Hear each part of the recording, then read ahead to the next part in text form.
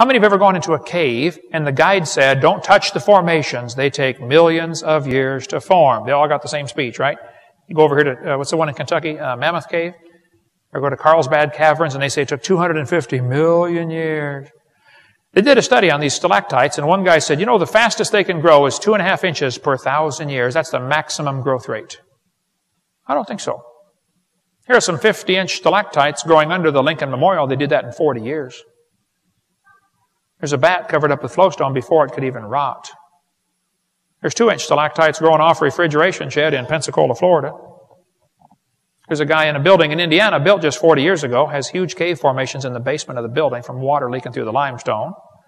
There's a mine was shut down in Australia for 55 years. When they opened it back up to check it out, there were huge cave formations in 55 years. There's a pipe that was dripping water for seven years, made a 13 inch stalactite. I thought it was two and a half inches per thousand years. It's more like two inches per year. They broke off the stalagmite that was under it and gave it to me. It's in my museum. There's a parking garage built 1997 in Texas. It was making stalagmites on the students' cars parking under it. They had to put up a drip pan to catch the water.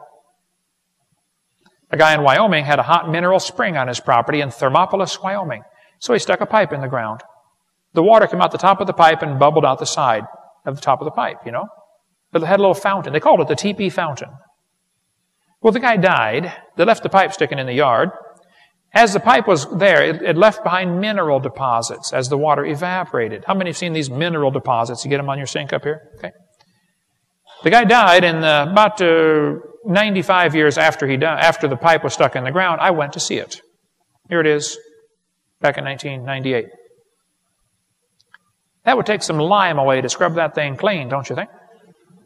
Yeah, a little bit. The guy down the street started his later. It's not quite as big, you know. But uh,